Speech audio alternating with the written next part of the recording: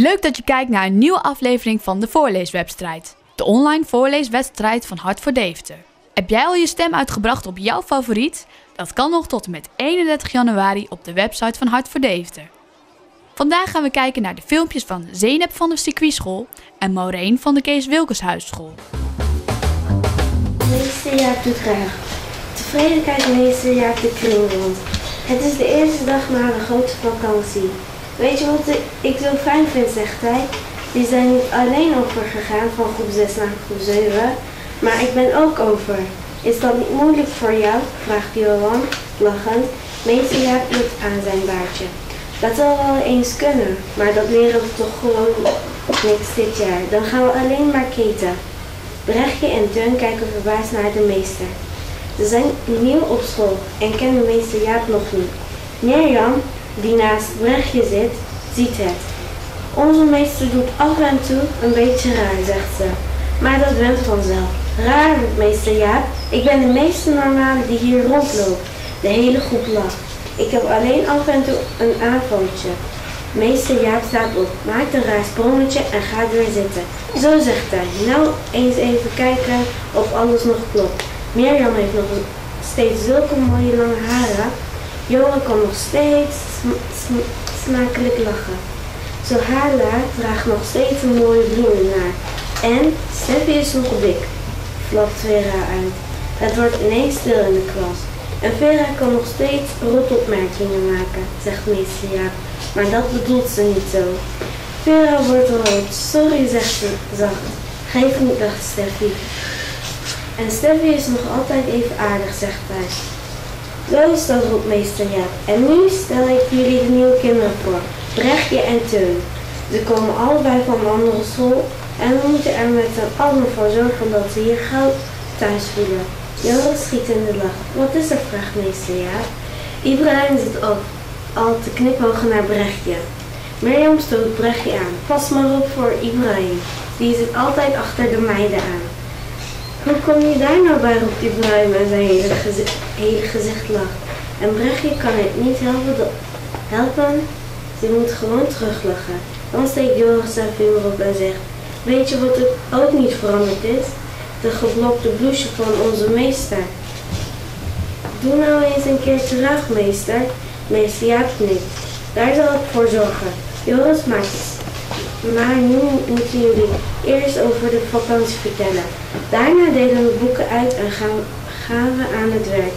Maar vanmiddag doen we iets gezelligs. Die middag, als iedereen al in de klas zit, gaat met veel lawaai de deur open. De hele groep schrikt, want in de deuropening staat een woeste figuur. Hij heeft een leren jack en, aan en allemaal kettingen om zijn nek. Een zonnebril op een soldatenkistje en zijn, aan zijn voeten het onze meester, Steffi. Er breekt een hels kabaal los. Woesteling kost de klas en brood. Zo ruig genoeg de rest van de middag wordt het een dolle boel. We spelen toneel en disco. Maar de volgende dag is meester Jaap weer gewoon. Gelukkig, zegt Steffi, want ik vond je maar een engel. En tevreden strijkt meester Jaap over zijn geklopte blouseje. Sven bekijkt zijn wenkbrauw.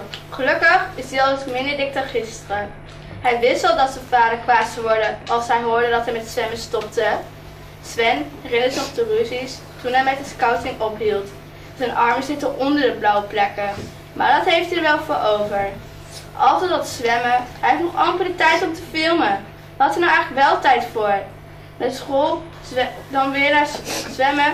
Hij kon niet eens verkering nemen. Stop, zegt Sven bij zichzelf.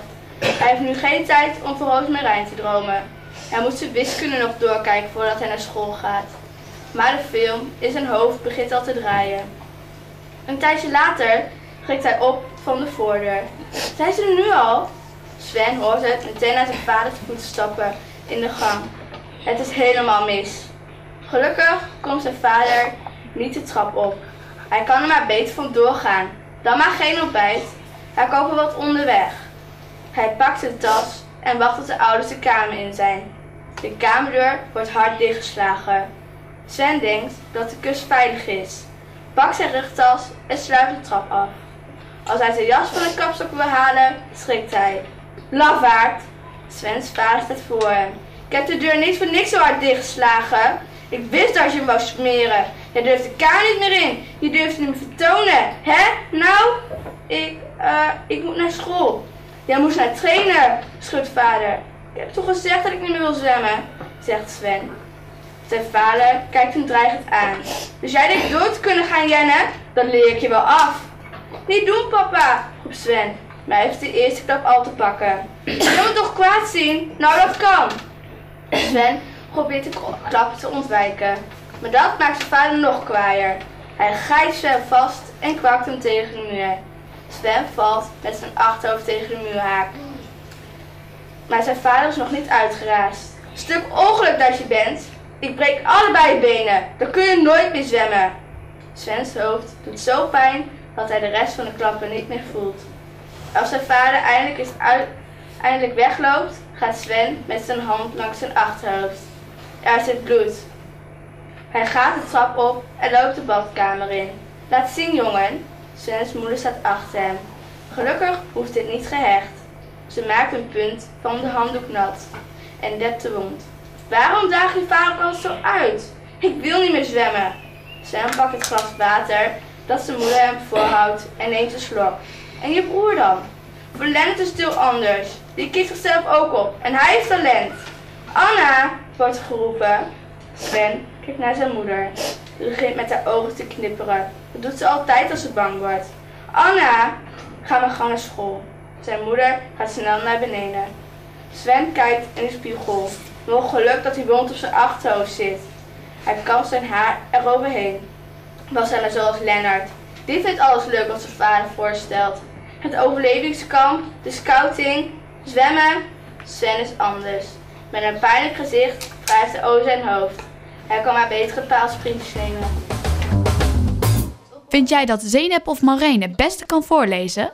Ga dan naar de website hartverdevend.nl en breng snel je stem uit. Morgen zijn we weer en dan gaan we kijken naar Marit van Basisschool De Vlieger en Melissa van OBS Het Roezink. Tot morgen!